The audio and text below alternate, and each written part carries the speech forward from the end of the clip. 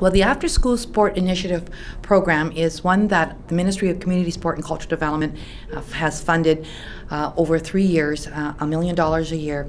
And the funding comes from our uh, Sports Legacy Fund, our $30 million Sports Legacy Fund. What that has allowed us to do was take a look at an initiative that really would assist young people who have barriers to participate in sports.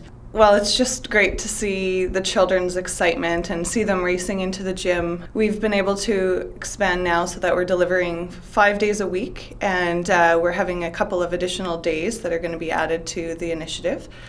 And it's just amazing to see their confidence blossom. The opportunities have increased immensely as a result of this funding, and the differences have been notable since we've been participating in this initiative. So, without this funding, we would not be able to be offering the after school opportunities four days a week for our kids. So, we service through this funding, we service in excess of 100 children um, after school that we would not otherwise be able to service, and those children would not be engaged in these activities for a variety of reasons that are barriers to their family in our communities. We tailor our program to address the unique needs of the children mainly by listening to them. Rather than pre designing a program and implementing it whole scale, we ask for their feedback as we're actually creating and developing programming.